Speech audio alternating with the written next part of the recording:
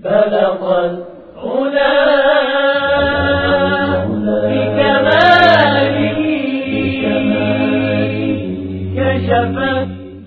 باللہ من الشیطان الرجیم بسم اللہ الرحمن الرحیم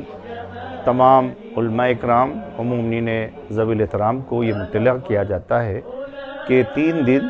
تنظیم المکاتب میں ایک عظیم الشان کانفرنس منعقد کی جا رہی ہے لہٰذا میں تمام علماء اکرام سے دانشوران قوم سے عمومنین سے خاص یہ استدعا کرتا ہوں کہ انشاءاللہ اس کانفرنس میں شرکت کر کے آپ تمام یہ حضرات ثواب دارین حاصل کریں اور خاص طور سے آپ مولانا غلام اسکری صاحب علی اللہ مقام ہوں کی روح کو شاد فرمائیں والسلام علیکم ورحمۃ اللہ وبرکاتہ